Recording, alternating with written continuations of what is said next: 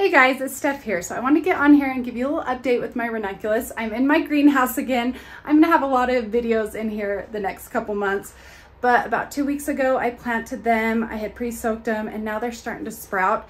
So I wanted to tell you my game plan going forward with these corms so that I can protect them from freezing so they don't get too cold, but try to get blooms as early as I possibly can. It's been about two weeks. I have actually been storing them in my garage in this moistened soil. I actually didn't really have to water it after the first time. They haven't been wet, but it was pretty cold in there. So I have two other trays that I put in a basement storage just to see if I can get those ones to sprout a little bit more quickly and because it's about 50 degrees in my basement storage and in my garage it's only been about 42 degrees and it's going to get really cold next week so I'm worried about them freezing in my garage, but so right here, they're just barely starting to sprout right here. And then you can see the dirt. Let's see if I can show you. So you can see those little sprouts all starting to come up.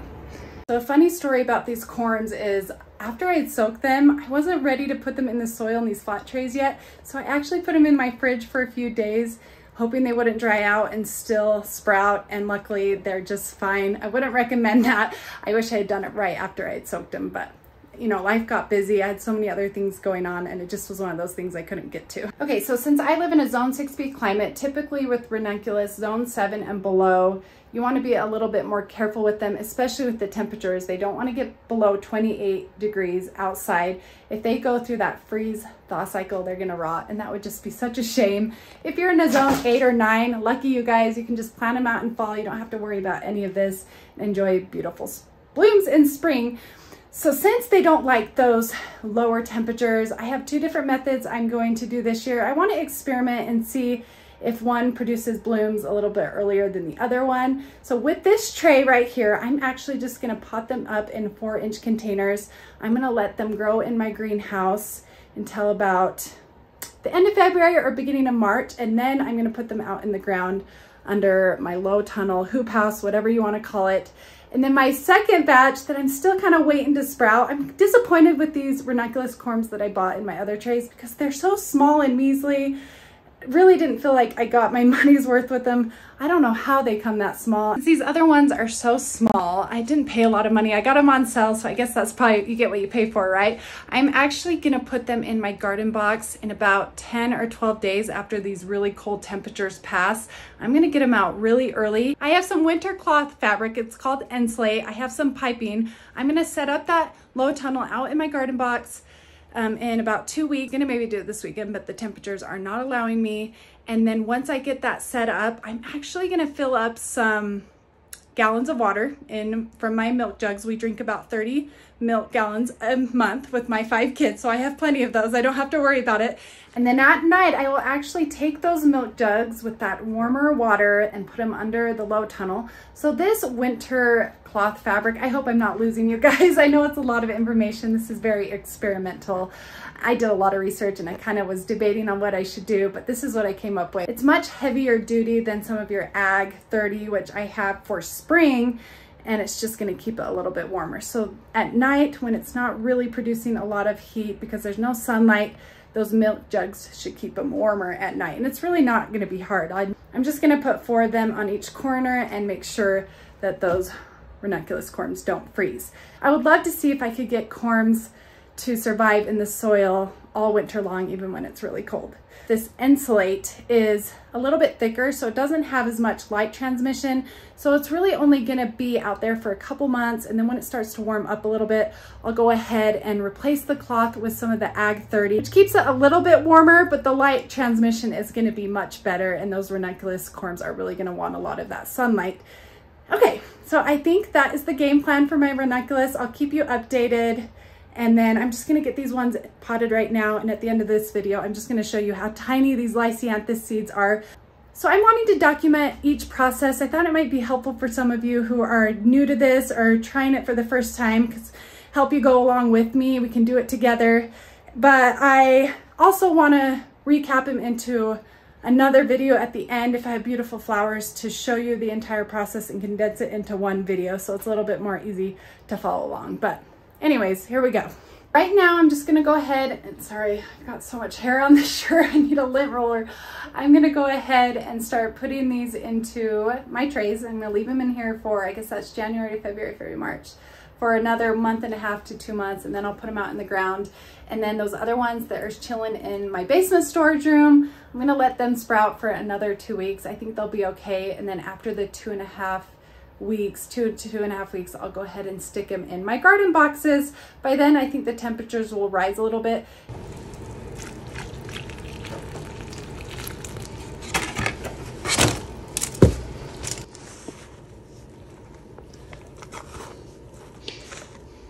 Pretty sure I'm losing most of my soil out of this tray. It's nice and moist. You do not want soggy, soggy corms.